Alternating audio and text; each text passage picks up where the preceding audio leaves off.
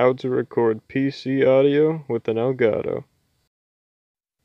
So this is for you not being able to hear the computer's internal sound, like if you're playing a game you can't hear the music or the bullets.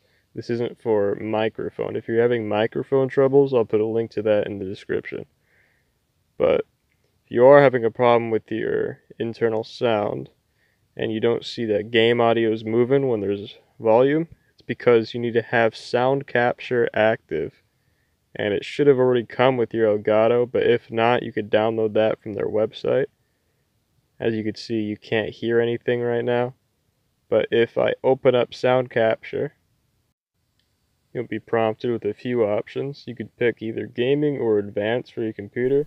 I like to do advanced though, and you're going to go down to the bottom to make sure all the settings are right. I have my speakers active. You don't want to have two things uh, playing audio back to you Make sure you have the two top boxes checked and whatever it did for auto right there it should be fine. But once you open that up and do that you should be able to hear everything. As you can see it makes noise when I press that. And yeah, that's it. Thanks for watching.